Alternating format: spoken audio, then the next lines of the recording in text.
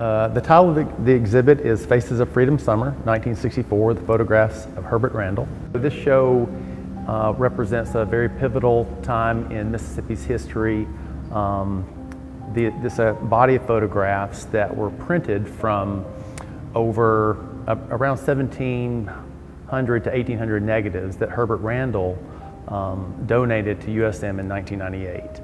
Um, and so these, there's about 100 photographs in this show and they tell the story, help tell the story of uh, Freedom Summer from 1964, which was a, a very um, important time in Mississippi when civil rights activists uh, came from all over the country um, to help register Mississippians to vote, African Americans in Mississippi um, to vote.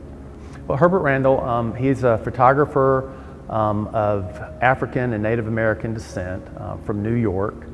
Um, in 1964, he had received the John Hay Whitney uh, Fellowship for Creative Photography, and he had befriended Sandy Leigh, who was the field secretary and the director of the SNCC, the Student Nonviolent Coordinating Committee.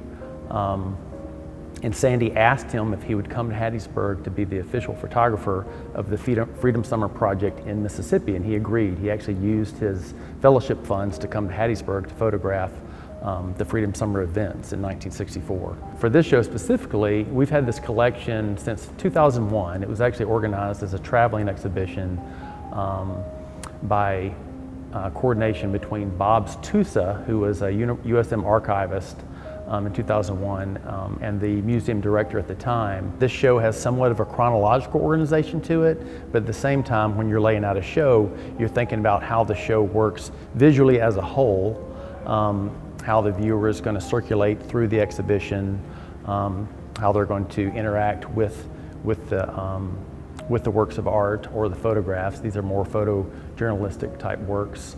Um, and then what they're going to bring from the show.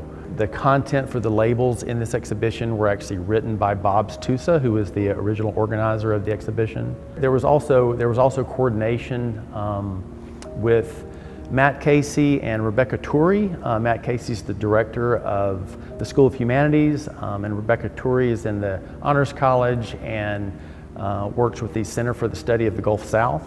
Um, and we have been, we worked a little bit in collaboration with them, and they've organized um, a lecture with Dr. Anthony Harris, who was, he was born in Hattiesburg. He's an author.